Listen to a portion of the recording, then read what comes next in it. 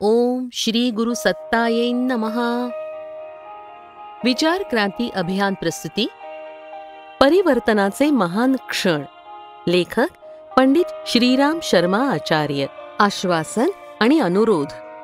सन एकोणीसशे नव्वदच्या वसंत पंचमीपासून एकांतात राहून तसंच सर्व काळ मौन पाळून करावयाच्या समग्र साधनेचा वृत्तांत ऐकून युगनिर्माणाच्या कार्याशी नव्यानं संबंध झालेल्या परिजनांमध्ये चिंता निर्माण झाल्याचं आढळतं.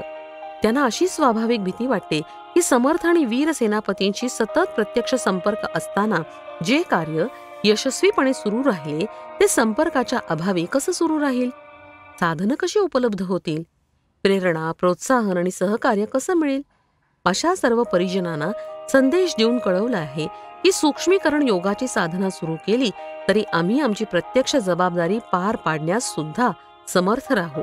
ते कार्य स्थूल शरीरानं करावयाच्या प्रत्यक्ष कृतीसारखं दिसलं नाही तरी सूक्ष्म चेतनेत एवढं सामर्थ्य मानलं पाहिजे की ते केवळ सूक्ष्म सृष्टीपर्यंतच नव्हे तर स्थूलसृष्टींच्या घटनांवरही प्रभाव टाकू शकते.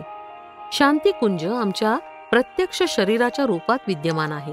त्यामुळे त्याच्याशी संपर्कात येणाऱ्या लोकांना आवश्यक प्रेरणा आणि प्रकाश किरण सुद्धा मिळत राहते ही ऊर्जा आणि प्रकाश जगातील महत्त्वपूर्ण प्रयोजनांना गतिमान बनवत राहतील. आगामी काळात कोणालाही आमची अनुपस्थिती खटकणार नाही. उलट असं दृश्य पाहावयास मिळेल ज्यात एक बीज वृक्ष बनून हजारो लाखो बीज निर्माण करते. प्रत्यक्षात आमचं शरीर कार्य करताना दिसलं नाही याचा अर्थ आमचा मृत्यू झाला असं कोणीही समजू नये. दिव्य तत्व कधीच मरत नसतात. शरीर बदललं म्हणजे आत्मसत्ता बदलत नसते. आत्मसत्ता जर समर्थ असेल तर स्थूल शरीराचं ओझं आणि बंधन दूर झाल्यावर ती अधिकच गतिमान बनते आणि अगणित असंभव गोष्टी संपन्न करून दाखवते. याच कारणानं भारतीय परंपरेत केवळ जन्मदिवस साजरा केला जातो. मृत्यू दिवसाची आणि पुण्यतिथीची स्मृती केवळ भाद्रपदाच्या पितृपक्षात वर्षातून एक दिवस चर्चेचा विषय बनते. स्वामी रामतीर्थांनी मृत्यूच्या थोड्या आधी एक भावपूर्ण लेख लिहिला होता. मृत्यूच्या नावे पत्र. तो लेख विस्तृत आणि मार्मिक होता. याचा सारांश असा होता की शरीराचं ओझं वाहत असल्यानं मला जे करायचंय ते करता येत नाहीये. म्हणून हे ओझं माझ्यावरून दूर होताच मी हवेबरोबर चांदण्यांबरोबर किरणांबरोबर वसंत ऋतू तसंच पावसाबरोबर पूर्ण समरस होऊन सर्वांना खूप उपयुक्त होईल अधिक प्रसन्नपणे आणि उल्हासानं रसास्वाद घेईन. ऐंशी वर्षांचं जीवन जगल्यानंतर आणखी अधिक जगण्याची किंचितही इच्छा शेष नाहीये. तथापि आमच्या मर्जीनुसार आम्हा जगता आलं नाही आणि मरताही येणार नाही. नियंता परमप्रभूची मर्जीच मुख्य आहे. तरीही इतकं निश्चित आहे की अशरीरी अवस्थेतही खूप कार्य करता येईल. याची पूर्वतयारी सध्या सुरू आहे.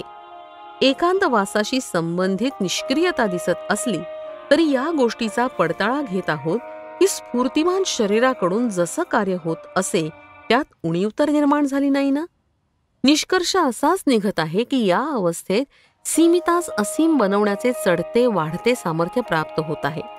त्यामुळेच असा विश्वास परिपक्व झाला आहे की जिवंत अवस्थेपेक्षाही शरीररहित स्थितीत सामर्थ्य आणि क्रियाशक्ती अधिक वाढते. याच मान्यतेच्या आणि श्रद्धा विश्वासाच्या जोरावर प्रज्ञा परिजनांना विशेषतः सांगत आहोत की डोळ्यांना आम्ही न दिसलो तरी किंचितही उदास होऊ नये. हा पंचभौतिक मातीचा पुतळा मातीत मिळाला तरी आम्ही तुमच्यावर अधिक प्रेम करू. तुमच्या उत्कर्षासाठी अधिक समर्थ सहयोग देऊ. याचा निरंतर अनुभव घ्यावा. जो हाक मारील तो शोध घेईल. त्याला आम्ही समोरच उभे असल्यासारखे भासू आणि शक्तीपूर्ण सहयोग देताना प्रतीत हो अदृश्य अध्यात्माचं सामर्थ्य दृश्य भौतिक विज्ञानाच्या सामर्थ्याहून मुळीच कमी नाही. इतकंच नव्हे तर प्रदीर्घ काळ पावतो जीवन जगून व अभिष्ट प्रयोग परीक्षण करून आमच्या मनात आता कसलीच शंका आणि भ्रांती राहिलेली नाही. आत्मबळ हे जगातील सर्व प्रकारे अनुभवले आहे. विज्ञानाची धाव फक्त जड पदार्थांपर्यंतच असते. उलट अध्यात्म विज्ञान हे जडासह चेतनेसही प्रभावित आणि परिष्कृत करण्यास समर्थ आहे. त्यासच अलंकारिक शैलीत अमृत परिस कल्पवृक्ष वा कामधेनू अशा उपमा आजवर दिल्या आहेत. या उपमा शब्दशः सत्य आहेत. व्हिडिओ आवडल्यास लाईक आणि शेअर करा. विचार क्रांती मराठी चॅनेलचे सदस्य होण्यासाठी सबस्क्राईब बटनवर क्लिक करा. आम्ही अपलोड केलेल्या व्हिडिओची सूचना प्राप्त करण्यासाठी बेल आयकॉनवर क्लिक करा.